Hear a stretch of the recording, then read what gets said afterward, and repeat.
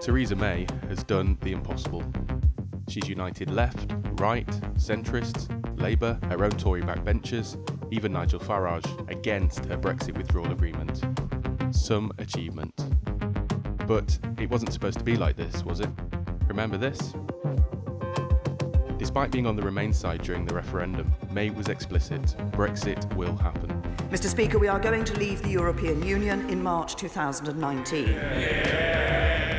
The definition of her version of Brexit wasn't always clear. Brexit means Brexit, and we're going to make a success of it. But May was insistent on her red lines. Not partial membership of the European Union, associate membership of the European Union, or anything that leaves us half in, half out. She was even labelled the Brexit Queen. My question to the Prime Minister is Will she come to Wellingborough, where she will be carried shoulder high through the streets to the echoing of cheering crowd. And I will be able to show her the site where a statue to the Brexit Queen will be erected. So, how did the Prime Minister manage to unite so many people against her Brexit plan? Perhaps this was the plan all along.